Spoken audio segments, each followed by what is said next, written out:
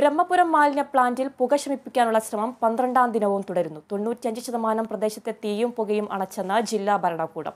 ഹൈക്കോടതി സ്വമേധയെടുത്ത case division bench പരിഗണിക്കും. നിരീക്ഷണ സമിതി റിപ്പോർട്ട് പരിഗണിക്കും. വാർത്തയുടെ കൂടുതൽ വിശദാംശങ്ങളുമായി അശ്വതി ചേരുന്നുണ്ട്. അശ്വതി ബ്രഹ്മപുരത്തെ തീപിടി തീപിടുത്തം പുക ശമിപ്പിക്കാനുള്ള ശ്രമം പന്ത്രണ്ടാം ദിവസവും തുടരുകയാണ്. അതുപോലെ തന്നെ വിദ്യാഭ്യാസ സ്ഥാപനങ്ങൾക്ക് ഇന്ന് അവധി പ്രഖ്യാപിച്ചിട്ടുണ്ട്. അതുപോലെ തന്നെ അഞ്ച് മൊബൈൽ യൂണിറ്റുകൾ പ്രവർത്തനം ആരംഭിച്ചു. എന്തൊക്കെയാണ് വാർത്തയുടെ കൂടുതൽ വിശദാംശങ്ങൾ? ആതിര ബ്രഹ്മപുരം മാലിന്യ പ്ലാന്റിലുണ്ടായ തീപിടുത്തവുമായി ബന്ധപ്പെട്ട സ്വമേധയ എടുത്ത കേസിൽ ജസ്റ്റിസുമാരായ ക്ഷമിക്കണം ജസ്റ്റിസുമാരായ എസ് ബി ഭാട്ടി ബസന്ത് ബാലാജി എന്നിവർ ഉൾപ്പെട്ട ഡിവിഷൻ ബെഞ്ചാണ് ഇന്ന് പരിഗണിക്കുന്നത്. കോടതി നിയോഗിച്ച നിരീക്ഷണ സമിതി കഴിഞ്ഞ ദിവസം ബ്രഹ്മപുരം സന്ദർശിച്ച് സ്ഥിതിഗതികൾ വിലയിരുത്തിയിരുന്നു. ഇതിന്റെ റിപ്പോർട്ട് അടക്കം കോടതി ഇന്ന് പരിശോധിക്കും. നിലവിലെ സ്ഥിതികളും സ്വീകരിച്ച നടപടികളും കോർപ്പറേഷനും ജില്ലാ കളക്ടറും റിപ്പോർട്ടായി സമർപ്പിക്കും. ഖരമാന്യ സംസ്കരണവുമായി ബന്ധപ്പെട്ട കർമ്മ പദ്ധതി അഡീഷണൽ ചീഫ് സെക്രട്ടറി കോടതി മുൻപാകെ ഇന്ന് സമർപ്പിക്കാനുള്ള സാധ്യതയുണ്ട്. ബ്രഹ്മപുരത്തെ അവസ്ഥ മോശമാണെന്നാണ് മലിനീകരണ നിയന്ത്രണ ബോർഡ് നേരത്തെ കോടതി അറിയിച്ചത്. പക്ഷേ ഇപ്പോൾ നിലവിൽ വായു മലിനീകരണ സൂചിക ഭേദപ്പെട്ട നിധി ഭേദപ്പെട്ട രീതിയിലാണ് പോകുന്നതെന്നാണ് പുറത്തു വരുന്ന റിപ്പോർട്ടുകൾ. അതുപോലെ തന്നെ സൂചികയുടെ സൂചിക നമ്മൾ പരിശോധിക്കുമ്പോൾ നമുക്ക് മനസ്സിലാകുന്നത്.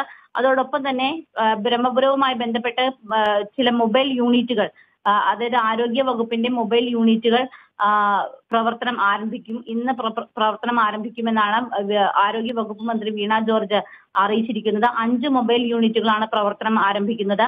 ശ്വാസകോശ സംബന്ധമായ രോഗലക്ഷണങ്ങളെയും അനുബന്ധ രോഗാവസ്ഥകളെയും നിരീക്ഷിക്കുന്നതിനും അതോടൊപ്പം തന്നെ അടിയന്തര വൈദ്യസഹായം ഫീൽഡ് തലത്തിൽ ലഭ്യമാക്കുന്നതിനും വേണ്ടിയാണ് ഈ മൊബൈൽ യൂണിറ്റുകൾ മാത്രമല്ല ആരോഗ്യ സ്ഥാപനങ്ങളിലേക്ക് റഫർ ചെയ്യേണ്ട രോഗികളെ സമയബന്ധിതമായി കണ്ടെത്തുന്നതിനും ഈ ക്ലിനിക്ക് സഹായിക്കുമെന്നാണ് മന്ത്രി വ്യക്തമാക്കിയിരിക്കുന്നത്.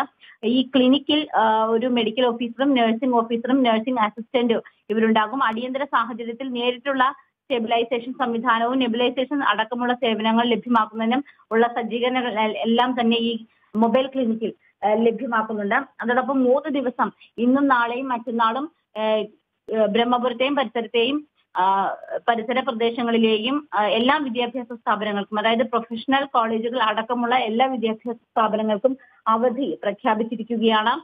ഈ തീ അണയ്ക്കുന്നത് പുക ശമിപ്പിക്കുന്നതിനുള്ള പ്രവർത്തനങ്ങൾ അവസാന ഘട്ടത്തിലാണ് എന്നാണ് ജില്ലാ കളക്ടർ അറിയിച്ചിരിക്കുന്നത്. പക്ഷെ ഇന്ന് രാവിലെയും ചില സ്ഥലങ്ങളിലെല്ലാം തന്നെ പുക ഉണ്ടായിരുന്നു.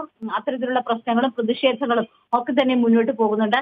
ഇന്നും പ്രതിഷേധ പരിപാടികളുണ്ട്. ഇന്ന് ബി ജെ പിയുടെ നേതൃത്വത്തിൽ കോർപ്പറേഷൻ മാർച്ച് ഓഫീസിന് മുന്നിൽ ഒരു മാർച്ച് സംഘടിപ്പിച്ചിട്ടുണ്ട്. പ്രാണവായു നമ്മുടെ ജന്മാവകാശം എന്ന രീതിയിൽ എന്ന ടാഗ് ലൈനോടൊക്കെ കൂടിയാണ് അത്തരത്തിലുള്ള പ്രതിഷേധ പരിപാടികളും ഇതിനനുബന്ധമായിട്ട് നടക്കുന്നുണ്ട് ആതിര ശരി അശ്വതി. ബ്രഹ്മപുരം മാലിന്യ പ്ലാന്റിൽ പുക ശമിപ്പിക്കാനുള്ള ശ്രമം പന്ത്രണ്ടാം ദിനവും തുടരുന്നു. തൊണ്ണൂറ്റിയഞ്ച് ശതമാനം പ്രദേശത്തെ തീയും പുകയും അണച്ചെന്ന ജില്ലാ ഭരണകൂടം ഹൈക്കോടതി സ്വമേധയെടുത്ത കേസ് ഡിവിഷൻ ബെഞ്ച് പരിഗണിക്കും. നിരീക്ഷണ സമിതി റിപ്പോർട്ടും പരിഗണിക്കും.